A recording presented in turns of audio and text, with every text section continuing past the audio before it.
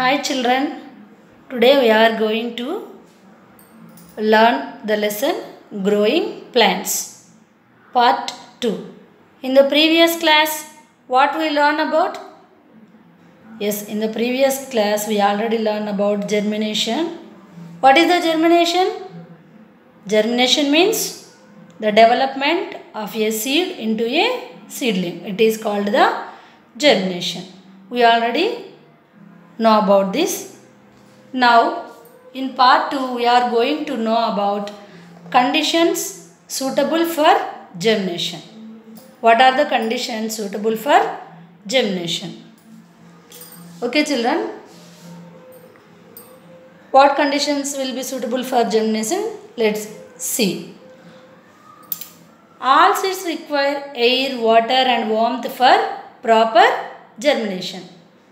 Seeds need air to germination, seeds need water to germination, seeds need warmth also to germinate. These are all suitable for germination. First, how seeds need air to germinate. What is the need of air to germinate for the seeds? Let's see. Put some seeds in a beaker filled with water. Pour a layer of oil on the top of water. This will cut off the air supply in water. You will observe that seeds show no sign of germination even after some days. This proves that seeds need air to germinate. What we have to do?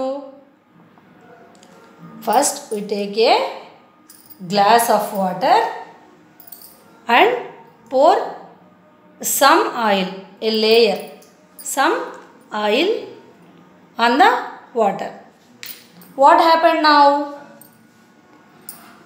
If we observe even after some days, there is no germination in the seed. Why? First we have to pour some seeds in the glass also. Sorry, I forgot.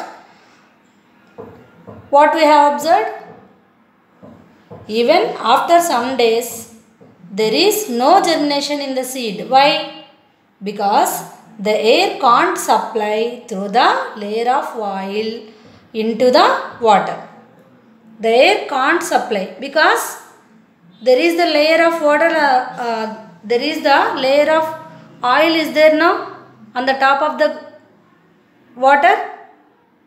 Yes, it can't supply air into the water. So, it proves that air must needs for germination. Next, what is the next one? Seeds need water to germinate.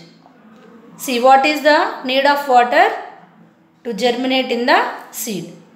We have seen your mother storing rice, pulses, maize and many other seeds in different jars in the kitchen. They do not germinate into new plants because they are kept dry. This shows that seeds need water to germinate. Children in your kitchen, have you ever observed some pulses and grains were stored in jars? They do not germinate into new, new plants now. They, they germinate into plants? No. Why? Because they are in a dry place. No wet is there, no water is there. They are stored in boxes now. So they are in a dry place. This proves that seeds need water for germinate. Not only that, in previous session also we learnt that when we keep the seeds in the moist cotton after a week, they became a seedling. Did you remember that? Yes. Third one. Now we learn about two conditions suitable for germinate. What are they? They are air and water. What is the third one? Seeds need warmth to germinate. Germination. Warmth. Put some seeds on a damp cotton in a dish and put the dish in the freezer. The seeds will not germinate in the absence of warmth.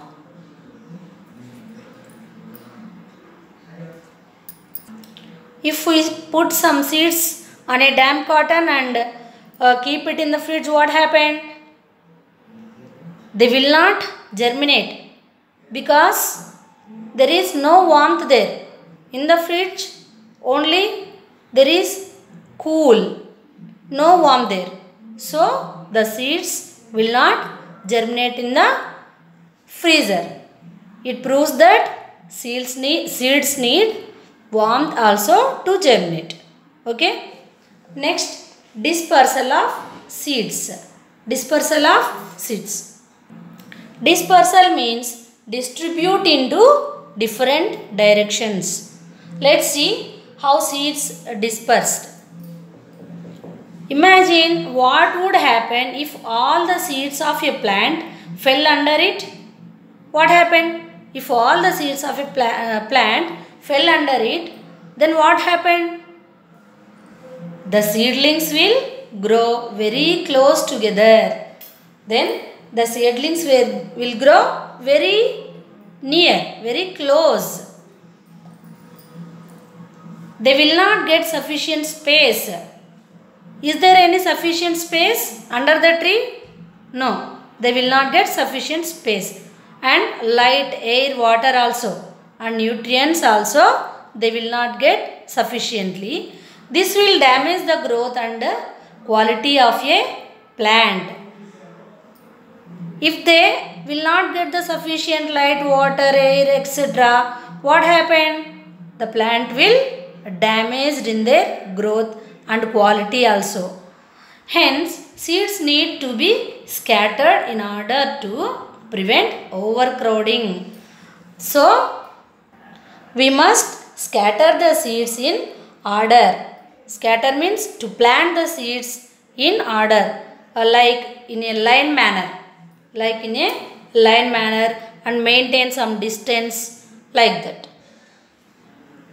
We scatter the seeds in order to prevent overcrowding.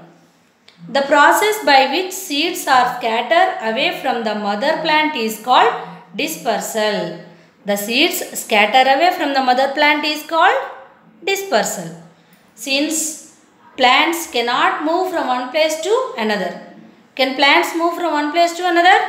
No. But seeds are dispersed by wind, water, animals or explosion of fruits. These are known as agents of dispersal. Plants cannot move from one place to another, but seeds can disperse. How? By wind, water, animals, or explosion of fruits, like that. These are all called the agents of dispersal. Dispersal by the wind. See how the wind disperses the seeds from one place to another. See here. Seeds of some plants develop hair, wings of or tuft of hair which help them to be carried away by wind. These seeds are so small and light in weight that they can be blown out by the slightest breeze. Example a dandelion, cotton, sycamore, madar, etc. See here, this is the dandelion flower. See here, these are their its seeds. They are, they are carried away by the wind. They are carried away by the wind like this because the seeds are very small and light in weight also. They carried one place to another and there the new plant will come. Next, dispersal by water. The wind is the agent of dispersal now.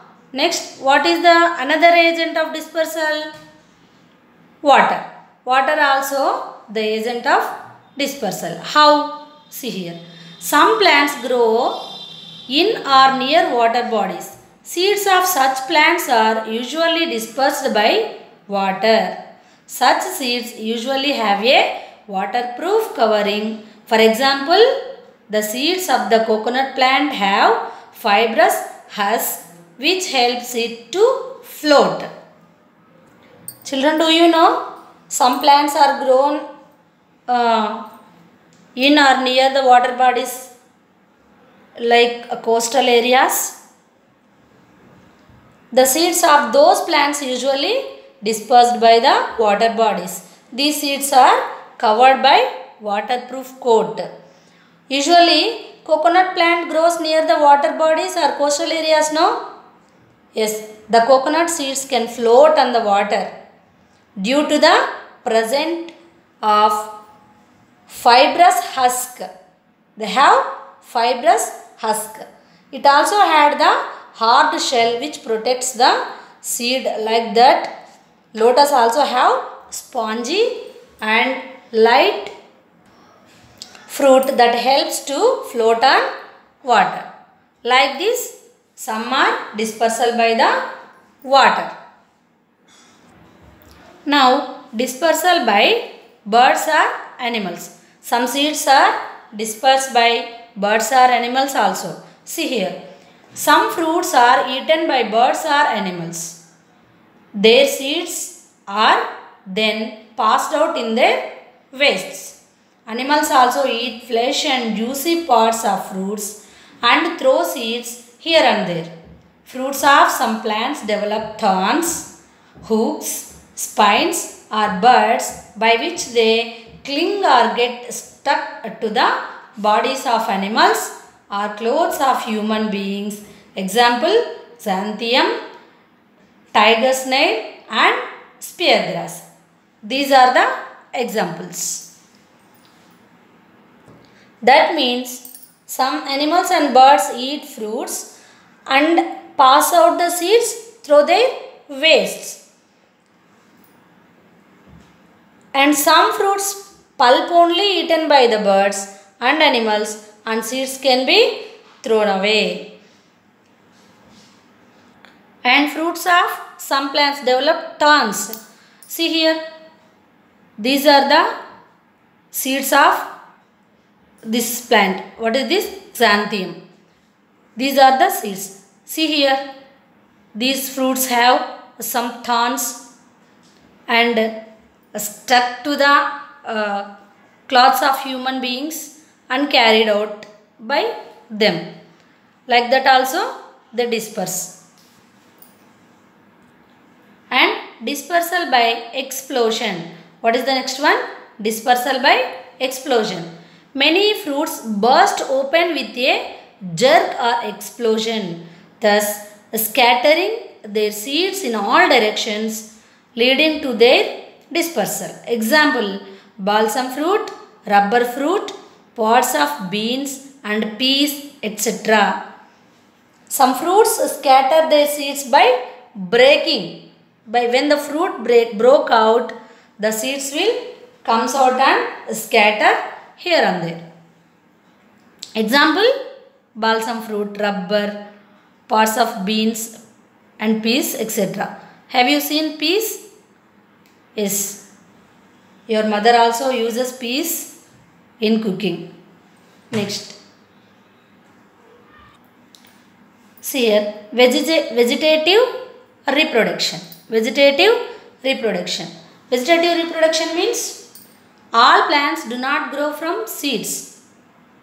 All plants do not grow from only seeds. In many plants, reproduction takes place through the other parts of the plants also.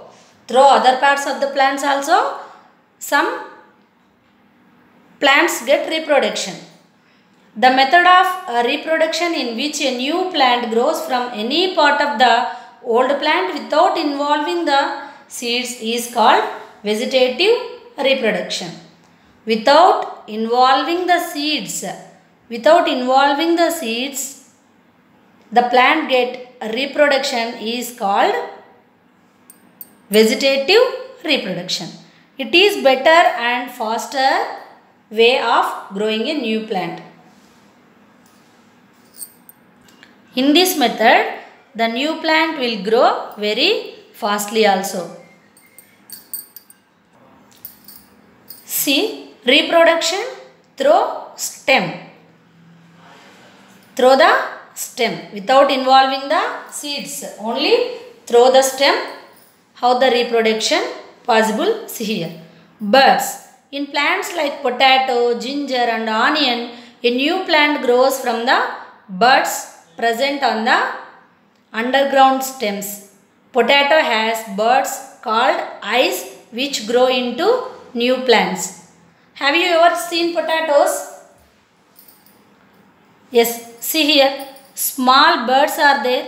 We call them eyes. From that birds, the potato can grow into a new plant. Ginger also like that, same like that. Stem cutting.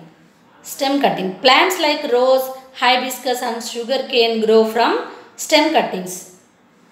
The stem cuttings when put into moist soil develop roots and grow into new plants. See here. Rose, sugar cane. These plants also no need the involving of seeds. When we cut the stem and put it into moist soil, it develops roots and grow into a new plant. Next, reproduction through leaves. Now we learn that re- reproduction through the stem in potato, ginger and rose, sugar cane like that. Now reproduction through the leaves. Let's see how to leaves help to reproduction. Plants like bryophyllum and begonia have buds present on their leaf margin. New plants grow from these birds. See here, this is the bryophyllum. These are its leaves. This is the example for repro- reproduction through the leaves. Next, reproduction through spores. Spores means very tiny seed-like structures that grows into new plants. There are some plants like ferns, mosses and mushrooms which produce spores. See here, this is the fern, mushroom. Do you know mushroom children? Yes, I think you all know mushrooms. These are very tiny seed-like structures which grows into the new plant, new plants. Plants that have come from far. All types of plants do not grow at all types of places. All types of plants grows all types of uh, places? No. Many plants are brought from different countries to grow at new places. Some plants are brought from different countries. Several plants have come to India from other places. One such plant is tea. Example tea plant. It not grows in India.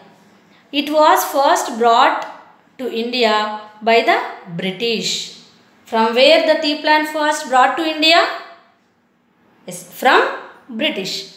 It is used for medicinal properties as well as a drink. We already know that tea plant we use for drink only and it used for medicinal properties also. It grows well at low altitude where the air is warm and humid. Where the tea plants grows well? At low altitude means low height where the air is warm and humid. Tea plants have small white scented flowers. Do you know? We don't know. Have you ever seen tea plants? Okay. The tea plants have small white scented flowers also. In India, tea is grown in Darjeeling, Ooty and Assam. In India, also some places tea plants grows where? In Darjeeling, Ooty and Assam. Tea gardeners plant the seeds in a nursery bed on hill slopes. The gardeners who grows the tea plants plant the seeds in a nursery bed on hill slopes. See here, these are the tea plants. When the plants reach a height of 20 centimeters, they are transplanted to the field. The plants mature in 3 to 5 years. Tea pluckers pick the leaves from mature tea plants by hand. When the plants reach a height of 20 centimeters in nursery and then they are transplanted to the field. That means the gardeners transplant the 20 centimeters plant from the nursery to field and plant there. The plants mature in 3 to 5 years. How much time the tea plants mature? How much time use? 3 to 5 years. Then the pluckers, the tea pluckers pick the leaves from the mature tea plants by the hand. This is the process how the gardeners pick the leaves from the tea plant. Okay. Children once again you must listen the lesson carefully and slowly observe observe carefully and try to understand. Thank you.